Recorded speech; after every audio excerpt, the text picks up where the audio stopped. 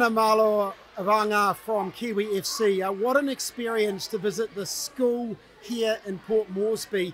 Uh, 900 kids absolutely captivated by your team, Kiwi FC, and AS Academy Feminine. Uh, pretty special, isn't it, to interact with the kids like that?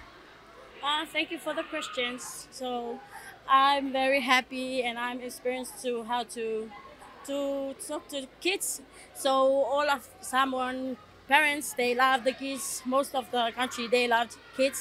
So I have um my nephews and yeah and my nieces. So right now I'm so experienced how to calm down the kids. Yeah, that's why I know that there's uh, many kids here. So what I'm going to do, so take uh dance or whatever I want to do for the kids. They make them happy.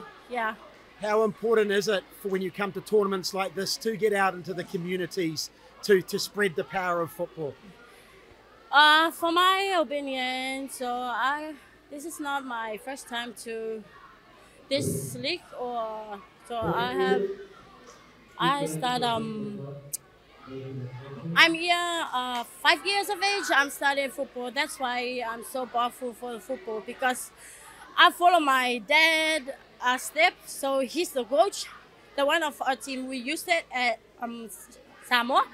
So uh, I included my four brothers. Just only me. I don't have sister. Just only me. That's why I want to continue my my talent. So thank to God for this talent he gave to me. Yeah, it's cool for Samoa. Yeah. Thank you so much for your time. Thank you.